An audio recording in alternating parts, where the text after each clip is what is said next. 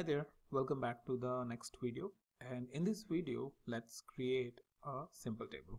So I will go over here in my sheet and let me create a new sheet because uh, we have been doing a lot with the existing sheet.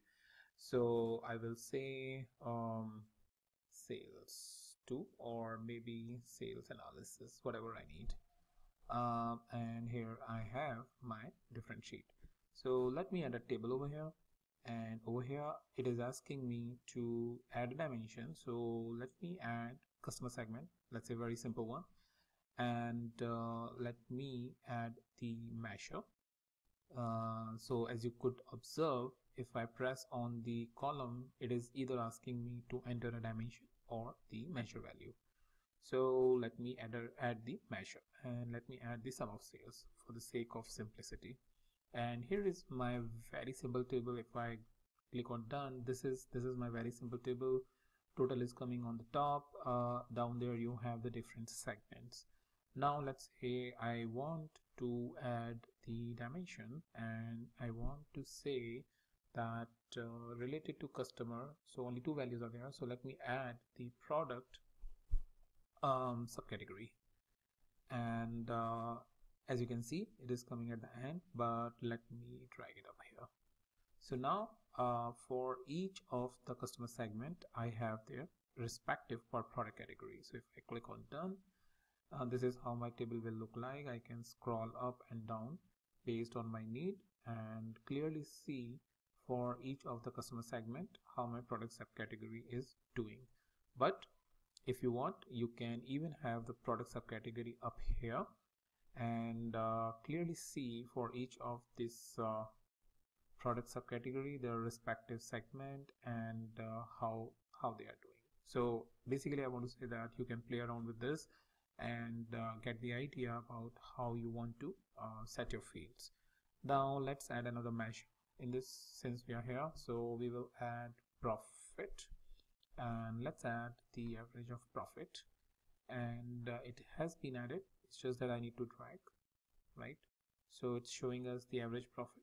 Doesn't look good so let me change it to sum right? So now I am here and done and I can see both the sum of profit and sum of sales along with the product subcategory and customer segment. So this is how you can keep on adding the values based on what your need is the dimension or the measure and it will start showing you the values uh, into the simple table. And uh, there are a lot of features that you get. So for example if I expand this um, you get the limitation. Suppose you want to show the top 10 values uh, of the customer segment. You don't want to include the null values. All of those kind of things as well as show column only. If so something based on some condition you want to have. You want to have some background color condition. You have to have some text color for conditional coloring. All that you can have it uh, within this this particular field. Similarly if I go into the appearance so I can choose whether I want the totals uh, over here or not. Uh, so totals has been disabled and now whether I want on top or bottom I can I can choose based on my need and I want to freeze the first column. All of these things are pretty intuitive in the nature. And as you disable it all of these things get displayed and uh, you can basically uh, experiment with it to make your table more meaningful.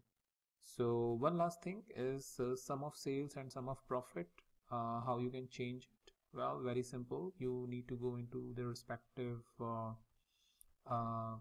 uh, uh, this well these labels where wherever this is. so sum of sales and over here sum of profit you can you can change the label. And to change the label over here you need to just unlink it. Because it is a part of the master item. Once you unlink it you can change the label as per your needs so that's about how you can create a very simple table and apply a different kind of settings into the uh, simple table and make it more meaningful for your users